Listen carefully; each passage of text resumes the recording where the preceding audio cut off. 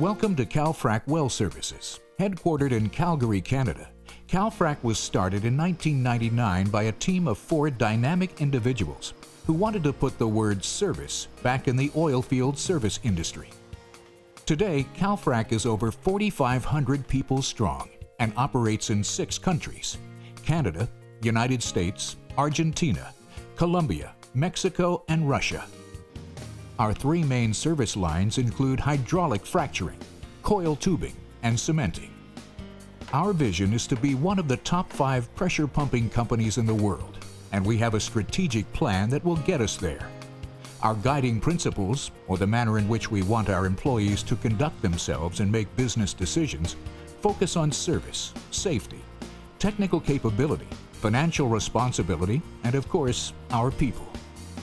We believe CalFrac is a fun and rewarding place to work and that our employees share our culture of being entrepreneurial, ethical, and energetic in everything we do. The purpose of this video is to provide you with some idea of what a typical day is like for an operator at CalFrac.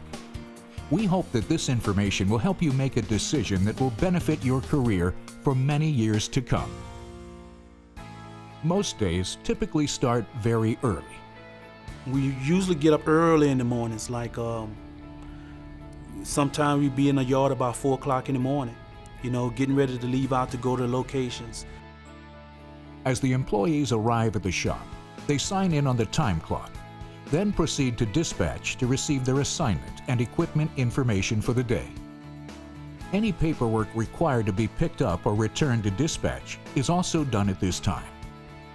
Once all communication and paperwork has been completed with dispatch, operators will pre-trip their assigned truck and ensure it is ready to perform the day's job.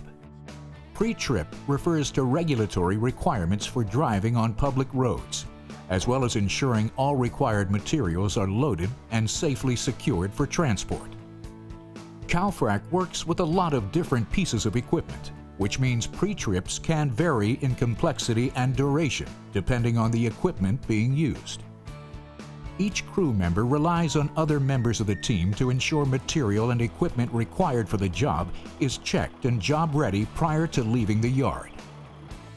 All trucks then pull up to a predetermined point for a convoy-style departure to the job site. Any job function we do will always be preceded by a job safety meeting. Uh, so before we leave the yard with the vehicles, uh, we will have a safety meeting discussing we're pulling out of here, we're headed, going to be heading north on 85, we're going to take 85 to the next highway, at that point we'll go west on that highway. So very specific instructions, make sure everybody understands the route that we're taking uh, before we even leave. They're big about safety here. Like they, you know, they, they take care of their hands and they want, you know, they, they want what's best for you, which in return is best for the company. CalFrac's commitment to safety is reflected in every part of our business. We believe that all employees have a duty to protect not only their own health and safety, but the health and safety of those around us each and every day. We leave in an order so that when it gets on location, when we rig in the equipment, it's set up to go onto location in the order that it left the yard in. There is a set of safety rules for the convoy. Each truck is equipped with a two-way radio to ensure communication between the supervisor and convoy members is possible at all times. This helps maintain the safety of CalFrac's crew members and of the general public. Depending on the distance to the job site, employees can expect the driving portion of the day to range from 10 to 50% of the entire workday. When compared to hours spent on the well site, driving time is relatively short However, it is one of the most important tasks performed during an employee's workday. Once the convoy has arrived at the job site, the supervisor will walk the location and identify any potential hazards. This is part of the JSA, or Job Safety Assessment. After this safety step is complete and findings are communicated to the crew, the supervisor will begin spotting equipment on the job site when drivers pull up on location with their pieces of equipment, uh, they will receive visual and uh, radio confirmation from the supervisor to come on to location with their piece of equipment. Once they do that, uh, there's a very specific order in how we bring those units on just because it is a big, large jigsaw puzzle. It's an organized ballet of how to get all of these pieces of equipment in a very small area. To do that, it's a very big goal to make sure that safety is our biggest concern while doing that. We have ground guides in the front of the vehicle, ground guides in the back of the vehicle. In some instances, this could be a vehicle that's 50 to 60 feet long. Uh, and you've got another 25 vehicles on that location. So safety is one of the biggest concerns with spotting the equipment, making sure when that vehicle's pulling forward, when it's backing up, that everyone knows exactly what that one vehicle is doing. Once the equipment has been spotted on the job site, the rig-in process begins. During the rig-in meeting, Calfrac's crew discusses any potential hazards on the job site and each of the operator's responsibilities. The rig-in process consists of many specific jobs, and each one is vital to performing quality service. So the rig up process, once all the trucks are spotted and ready to go, the rig up process will be the step-by-steps that we will use to take all of these different pieces of equipment that we've just spotted on location to connect them all together to work together as one big unit. There are two sides to rigging in, a high pressure side and low pressure side. As a new employee, you can expect to spend more time working on the low pressure side.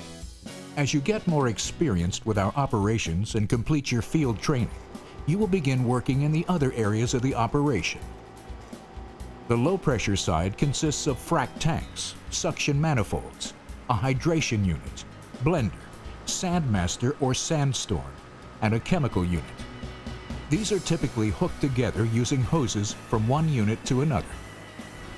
Yeah, when the weather's bad, and I'm not gonna lie, for the new guys, it's gonna, it's not great. You know, you know, you are the newer guy, so you are you know, in the little bit less desirable positions. But you know, I remember those days being frozen from the waist down and cold and thinking that they're just trying to kill you. They're not. You know, they're, it's part of the job, and everybody got their chance to do it. The high pressure side consists of the discharge manifold, frac pumps, frac lines, and the wellhead. High pressure pipe, referred to as iron, is used to connect these pieces of equipment. Iron is removed from the truck, and in some instances, a crane is used to offload the iron. The iron is carefully laid out, then connected tightly using hammers and specialized tools. You'll have several different people doing several different jobs, uh, guys using different pieces of equipment at all times. Once again, the whole organized ballet comes into it again.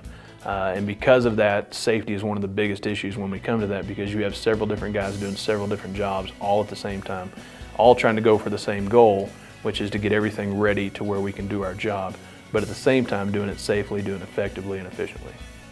A pre-job safety meeting is held prior to starting any work on site. This mandatory meeting is conducted by the location consultant and held for all personnel on location regardless of employer. The pre-job safety meeting reviews job assignments, maximum pressures, evacuation routes, and muster points in the unlikely event of an emergency. If you feel something isn't safe, you can go to somebody, and CalFrac will listen to you. During the hydraulic fracturing process, each employee has a specific job function. As a new employee, your main duties will include tasks such as assisting operators in the maintenance of pumps, blenders, hydration units, and chemical units, operating the Sandmaster or fuel truck, and monitoring water tanks and closing the valves when they are empty. In Calfrac's constant efforts to improve all areas of our business, you may also be asked to be a safety monitor and offer your perspective on our current procedures. As a new employee, you have a fresh set of eyes and therefore a fresh take on additional and best practice processes relating to safety in the workplace. Calfrac offers comprehensive training programs for all operators that include online learning, on-the-job training by a coach or mentor, and hands-on testing to ensure you're able to do the job safely and efficiently. All operators are enrolled in the CERT program, or Calfrac Employee Responsibility Training at the time of hire, and have access to additional training programs as they progress through their career with the company. The most important aspect of being a team member with Calfrac is to be ready to jump in and help your crew whenever possible.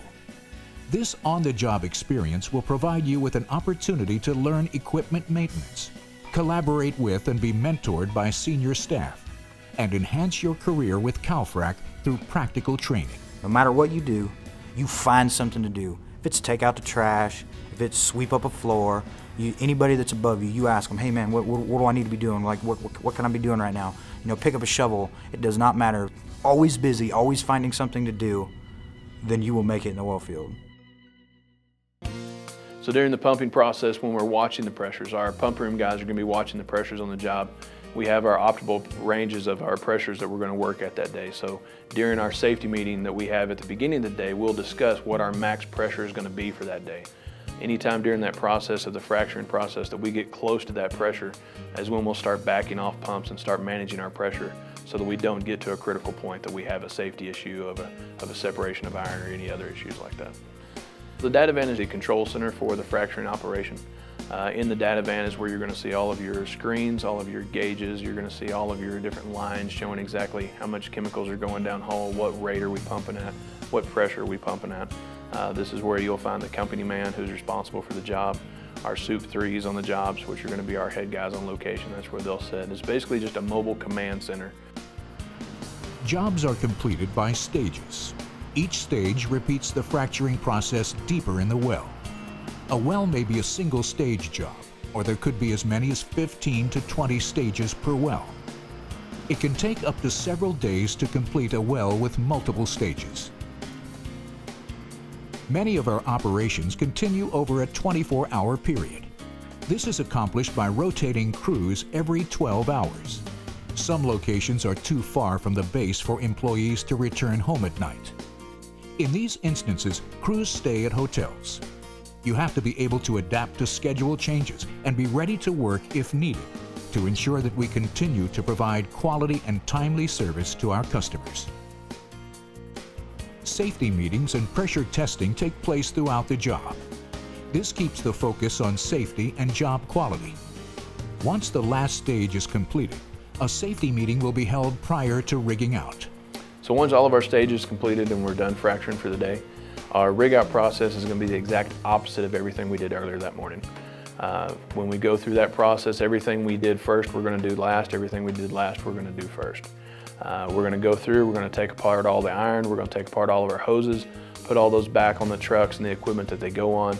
And then once again, the same process that we use to get all of the equipment on location, we're going to use that same process in reverse to get all the pieces of equipment off location.